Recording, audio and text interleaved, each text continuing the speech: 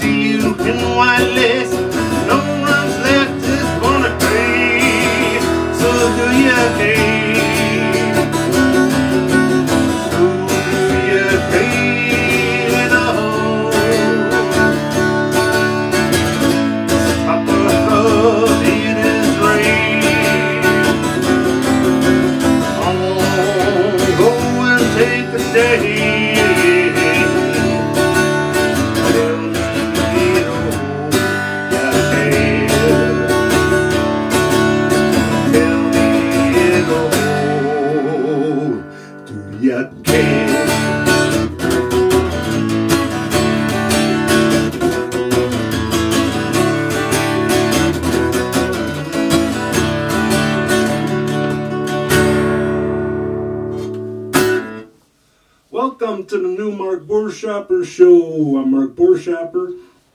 I believe we're on episode 27 or 28 here. I'll have to check, but that was When Are You Coming Around? And that's off of my first album, uh, No Figment of Imagination, and it is the opening cut off the album, the very first song. And that song's uh, pretty much about at the time I wrote it. It was a big alternative country movement and no depression country and he had bands like Wilco coming on the scene and later Son Volt and many others. So I was trying to write something in that vein. Uh, but it's, I don't know, it's not very country, but I don't know what it is.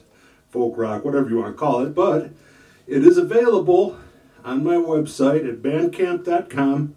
Just type Mark Buerschaper and go to the No Figment of Imagination album, and you'll find it there. And that is When Are You Coming Around?